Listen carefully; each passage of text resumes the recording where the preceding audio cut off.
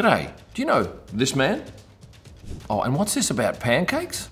I'll get onto that a little later on. This is Patricio O'Ward, Pato for short, and I've seen no other driver who embraces the fan side of the sport as warmly as this man does.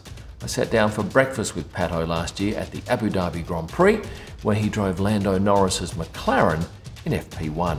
I started off by asking him which F1 drivers he knew well.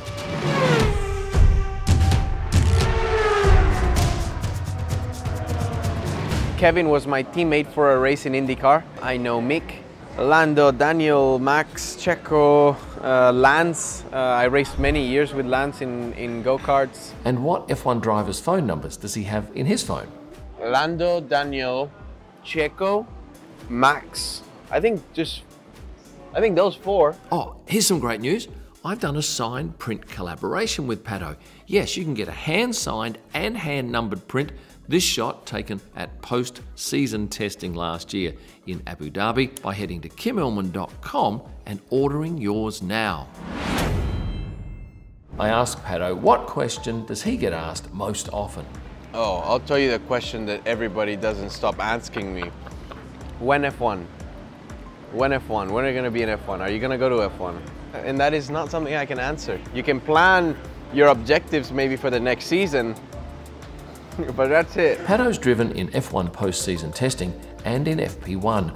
I asked him what the major differences between the two experiences were. I'll tell you what was very different is uh, all the traffic callings.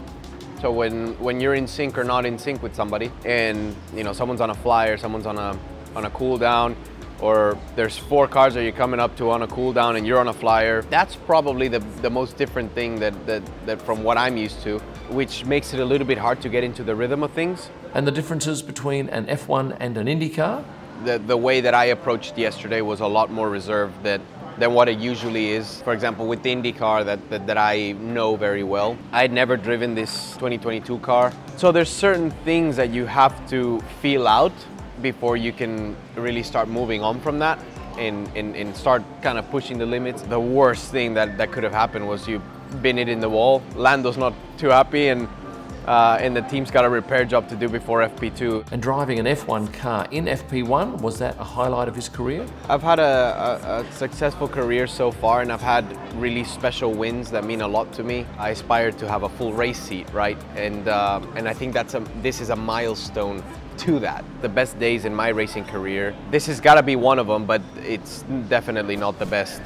Pato is enormously popular on social media, and I wanted to know what his strangest social media moment was. So in Mexico, did you, I went to the stadium section yeah. with everybody, and someone texted or DM my sister, and she's like, oh, I got close to Pato. He does smell like pancakes.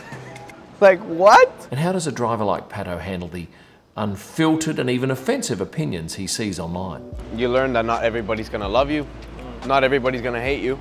The bigger you are and the more well-known you are, the more it's gonna happen. Social media allows people to kind of exploit their feelings and and really give their opinion. But sometimes the opinions are hurtful, like whether, it doesn't matter how strong you are mentally or you'll see something and it's kind of like, well, thanks. And you kind of just have to let it breeze over, over you because there's really no point in dedicating time to those. And in the paddock, how does he handle fans that he can't give enough time to? You know, we're in entertainment, right? We're there to entertain. We're there to, for people to have an experience. And we're, we're there to race. The, the schedules are so compressed that we've got somewhere to be. And I've had instances where I've had somewhere to be, so you don't really have a choice but to continue walking or continue going to where you need to go. People will say, oh, he didn't stop when I, you know, when I wanted an autograph or I wanted a picture. Whenever I have the chance, I always try and do it. This pic was one of my most popular pics on Insta last year. I asked Pato why he thought it struck such a chord. It connects you to the human side a little bit more. You know, when you're in a professional environment, a lot of the times you're dictated on what to say. This is how we're gonna say this and this is how you need to act. I mean, everybody will have a bad day. Everybody will say a bad word here and there, and everybody's gonna have fun. It's harder to see in a professional environment because you, have got work to do, right? So I feel like they enjoy that like human part of, of the athlete or of the person that they like watching on TV. And was Lance as serious then as he is now? No, I think he was quite a bit more a bit more loose back back back in the day, back in the karting days. Honestly, a lot of the guys are super nice and always uh, good friendly faces to see whenever I come and, and cheer on at the F1 races. Pato O'Ward, I'd love to see him in F1. He'd be huge on Drive to Survive, such is his personality and demeanour, and he'd instantly gel with the fans.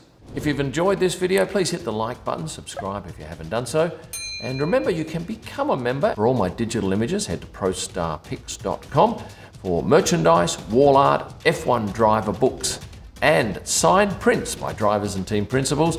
Go to kymillman.com, and for my best images live from the track and all during the week, go to Instagram and search my name, Kym Illman. Thanks for watching and stay passionate.